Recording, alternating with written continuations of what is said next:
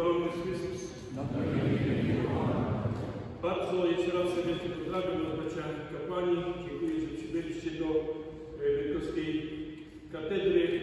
Tworzy tę wspólnotę prezbiterium jedności z biskupem. E, Dziękuję wszystkim, którzy też nas wspierają, pewnie tutaj nasi diecezjanie, ale też osoby życia konsekrowanego, więc wszystkich pozdrawiam. Ci godni bracia kapłani, z Łodzi, z jubilaci, też, którzy już przeszli złoty jubileusz, 65. rocznicę święceń, wspaniałe wydarzenie.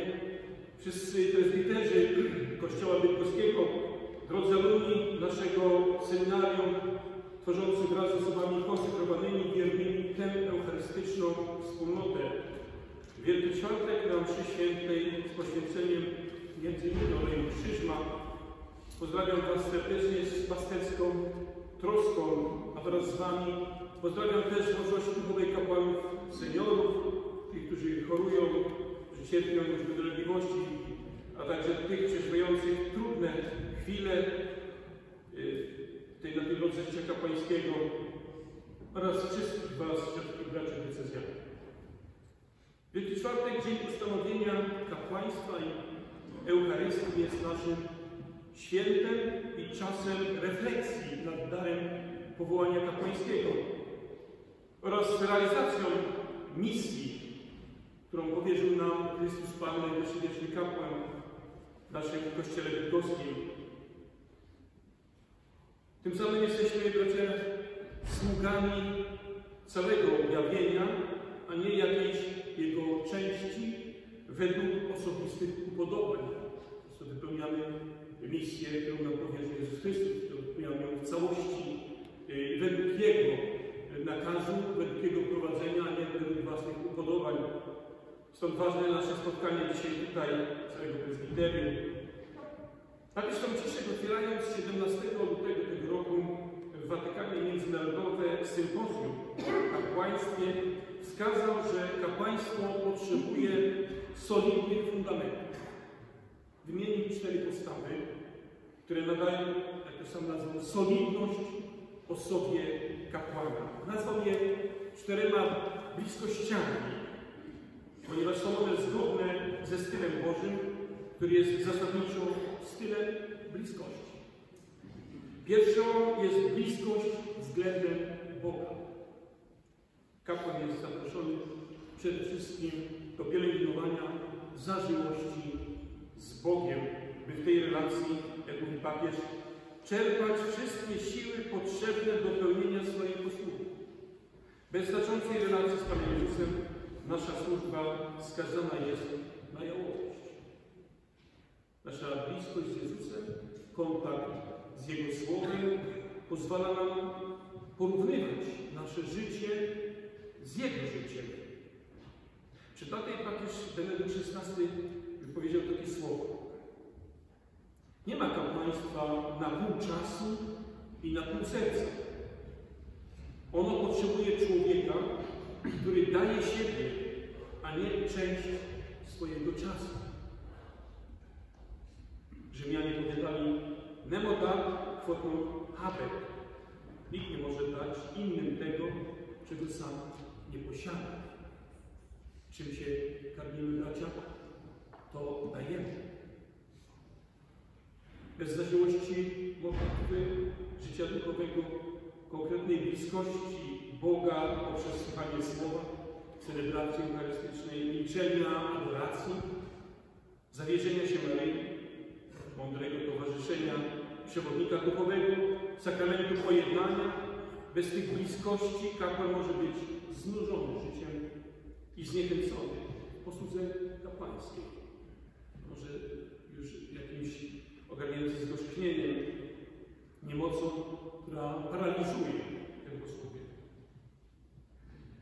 Zaznaczę w tej bliskości z Bogiem wymiar taki dla nas istotny, bo to jest ten skarb, liturgia. Liturgia, my mamy i na liturgię, na Eucharystię jeszcze przychodzą nasi bracia i siostry, to jest najczęstszy nasz, nasz kontakt z wiernymi. Więc pytanie jest, jak wygląda ta liturgia, ta tam gdzie jeszcze jesteśmy wszyscy zgromadzeni. Czyli dla nas osobiście kapłanów jest, jest szkołą świętości. W gruncie rzeczy bowiem bycie świętym oznacza właśnie to. Życie we wzrokiem, ze wzrokiem stale utkwionym w wieczności, w ostatecznym przeznaczeniu, to znaczy utkwionym w Chrystusie. Kapłan może się umacniać na swojej drodze świętości, jeśli naprawdę dobrze sprawuje liturgię. A sprawuje ją naprawdę dobrze, kiedy sprawuje ją tak, jak zaleca Kościół Matka Nasza. I kiedy sprawuje ją całym sercem, z całym przeżyciem tę liturgię. Nie tylko chodzi o wykonanie pięknych znaków, bo to jest bardzo ważne. Zadbanie o całość, piękna liturgii w każdym detalu, ale też jeszcze sposób przeżywania liturgii. W tym miejscu chciałbym podziękować Wam, bracia kapłani, za tę liturgię stacyjną, którą mogliśmy przeżyć od soby popielcowej do niedzieli palmowej. Dziękuję za zaangażowanie, za przygotowanie scenariusza modlitewnego, za towarzyszenie pielgrzymom i parafianom. Dziękuję za pozginanie kolan przed miłosiernym Panem zawierzanie siebie, diecezji w sprawie powołań przez tego, który nam przewodniczył i prowadził nas i orientował współpatrona naszej diecezji, bogzewnego biskupa Michała Kosana. Bardzo dziękuję za tę liturgię stacyjną. Ona to był ten strumień modlitwy przy wykorzystaniu tych wszystkich ubogich środków, które były. Drugą postawą jest bliskość względem biskupa, związana z posłuszeństwem. Posłuszeństwo nie posiada znamienia dyscyplinarnego, lecz jest najgłębszą cechą więzi, która łączy nas w komunii. Być posłusznym oznacza nauczyć się słuchać i pamiętać, że nikt nie może twierdzić, iż jest dysponentem woli Bożej i że można ją zrozumieć tylko poprzez rozeznanie. Posłuszeństwo jest więc wsłuchiwaniem się w wolę Bożą, którą rozpoznajemy właśnie w pewnej więzi, więzi z Bogiem, więzi między sobą. I tak jak papież napisał, posłuszeństwo może być również konfrontacją, słuchaniem i w niektórych przypadkach napięciem. Trzeba mieć odwagę powiedzieć, ja tak nie myślę, mam inne zdanie, a także mieć pokorę, by przyjąć upomnienie.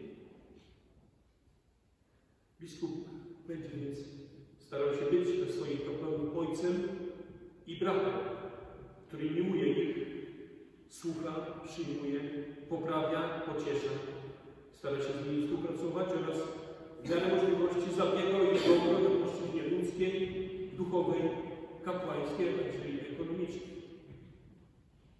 Fundamentalną sprawą pozostaje stała formacja presbiterów, stanowiąca dla wszystkich niejako powołanie w to umacnianie tej drodze powołania, ponieważ w swoich różnorodnych i uzupełniających wymiarach ma na celu pomoc księdzu, by był i spełniał obowiązki kapłańskie w stylu Jezusa.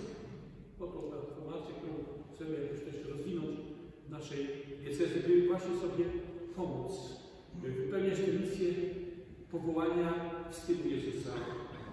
Gest kapłana, który w dniu święceń kapłańskich wkłada w swoje dłonie, swoje dłonie w dłonie biskupa, ślubując mu synowski szacunek i posłuszeństwo, może w pierwszej chwili wydawać się gestem wykonanym w jednym kierunku. W rzeczywistości jednak gestem wyraża zaangażowanie obydwu kapłana i biskupa. Wyborem młodego prezbitera jest powierzenie się biskupowi, zaś biskup ze swojej strony przyjmuje na siebie troskę o te włożone dłonie. Trzecim wymiarem jest braterska bliskość między prezbiterami, która podobnie jak posłuszeństwo nie może być nikomu narzucona z zewnątrz dyscyplinarnie. Braterstwo bowiem jest, jak pisze papież, świadomym wyborem, by dążyć do świętości wraz z innym, a nie w samotności. Choć święty zauważył, żeby poczuć się częścią wspólnoty, Nie trzeba zakładać masek, które oferują jedynie zwycięski obraz nas samych. To znaczy, że nie musimy się chwalić, ani tym bardziej unosić się pychą, ani co gorsza przyjmować postaw agresywnych, nie szanując tych, którzy nas otaczają. Bo kapłan, jeśli ma się czym chlubić, to miłosierdziem Pana. Zna swój grzech, swoją nędzę i swoje ograniczenia. Ale doświadczył, że tam, gdzie obfitował grzech, tam jeszcze obficie jej rozdała się łaska. I to jest jego pierwsza dobra nowina. Tak uczy papież Franciszek. I zaprasza nas do tego, byśmy mieli się spotykać. Ta pandemia trochę nas wybiła z takiego budowania relacji też w realu. Wracamy do tego, ale wracamy nie tylko przez fizyczną obecność, ale też przez otwarcie serca, przez y, umiejętność modlenia siebie za siebie, za siebie wzajemnie, ale też takiego spotkania otwartości serca, braterskiej odpowiedzialności, też umiejętności upomnienia braterskiego, pokornego przyjęcia tego w duchu troski o siebie wzajemnie, by iść wiernie drogą powołania. A jedność w prezbiterium jest jeszcze y, taką siłą w ewangelizacji. Bo trzeba sobie uświadomić, że kiedy jako kapłani nie trwamy jedności, to stawiamy bariery głoszenia Ewangelii, mocy Ewangelii. Czwarta postawa jest to bliskość z ludźmi. Miejsce każdego kapłana jest pośród ludzi. Dlatego, jak mówi papież, aby na nowo trzeba dzisiaj żyć w ścisłej relacji z realnym życiem ludzi, obok nich, bez żadnej drogi ucieczki. Ludzie określają czasami nas księży krótkimi wyrażeniami. Mówią, to prawdziwy kapłan. Albo to pobożny ksiądz. Innym tego rodzaju określeniem jest to naprawdę ludzki ksiądz. W. Każdy bowiem arcykapłan z pomiędzy ludzi, prawny, dla ludzi jest ustanawiany w sprawach odnoszących się do Boga. Może on współczuć tym, którzy nie wiedzą i błądzą, ponieważ sam podlega słabości. A zatem ludzki ksiądz to taki, który potrafi zrozumieć słabości człowieka, to znaczy widzi w drugim nie tyle sprawę kazus, ale człowieka z jego życiem, uwarunkowaniami, także wielkimi możliwościami. Ludzie mówią, potraktował mnie jak człowieka. Na przykład w personale parafialnym, czy w konfesjonale, czy tak zwykłym spotkaniu. I nie musi to wcale oznaczać jakiejś nadmiernej pobłażliwości. Potraktować kogoś jak człowieka, to potraktować go na serio. Okazać mu szacunek.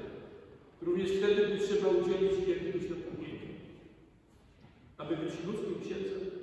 trzeba mieć czas na innych. Ktoś powiedział, że podejrzani wydają się księża, którzy nie mają nigdy czasu i wciąż powtarzają, jak wiele mają do zrobienia. Kiedy mówimy o tym, aby być dla drugiego człowiekiem, nasuwa się myśl, że przecież Bóg stał się dla nas człowiekiem. Bóg stał się ludzki. Mamy być dla człowieka człowiekiem. Tak jak człowiekiem stał się dla człowieka Bóg.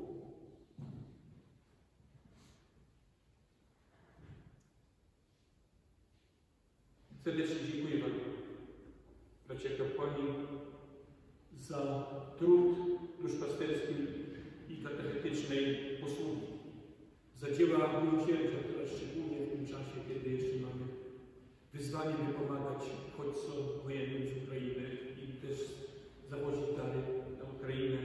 Ten wymiar miłosierdzia się bardzo tutaj zaznaczył, więc za te dzieła też nie tylko w tej posłudze duszpasterskiej, ale właśnie za dzieła miłosierdzia bardzo z serca dziękuję. Dziękuję za modlitwę w intencji powołań i ewangeliczną troskę też o chorych, zagubionych duchowo. Bracia kapłani, do stałej troski o formację duchową oraz intelektualną. To, co otrzymaliśmy, jest darem, musi stać się darem dla innych. Bo wielomocnego dawcę Bóg miłuje. Razem z Wami przepraszam Jezusa Chrystusa, Najwyższego i Wiecznego Kapłana i wiernych za nasze ludzkie niedoskonałości, słabości, zajmowania, które mogły innych zranić i dotknąć, odsunąć od wspólnoty Kościoła. I pokornie proszę naszych diecezjan o ich nieustanną modlitwę za całe prezbiterium diecezji bydgoskiej. Niech Maryja, Matka pięknej miłości i Matka kapłanów, oręduje za Wami, a szczególnie za tymi, którzy niosą krzyż cierpienia, krwią w mocy zwątpienia, albo zmagają się z, osobistymi kryzysami. Prosimy, niech każdy z Was zabierze do swojego kapłańskiego serca słowa Jezusa wypowiedziane w godzinie krzyża. Oto Matka Twoja oraz jej słowa z Kamy